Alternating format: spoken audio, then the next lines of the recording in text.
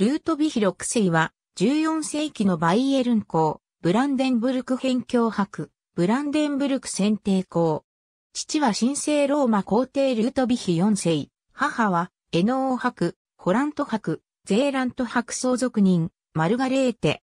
イボ兄に、ルートビヒ5世、シュテファン2世、ドーボテーに、ビルヘルム1世、アルブレヒト1世、オットー5世がいる。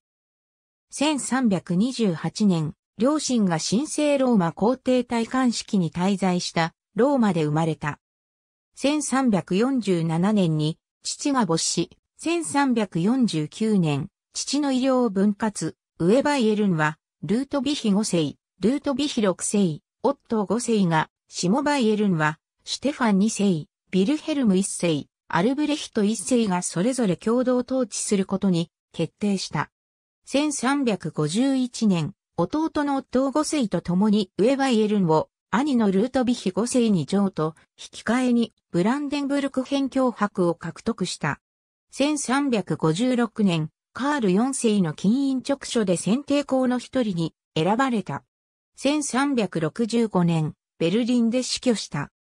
1349年、ポーランド王カジミエシュ3世の娘クネグンだと結婚したが1357年に死別、ついで1360年にメクレンブルクシュベリン公、アルブレヒト2世の娘インゲボルクと再婚したが、どちらの結婚でも子供を得られなかったため、オットー5世が後を継いだ。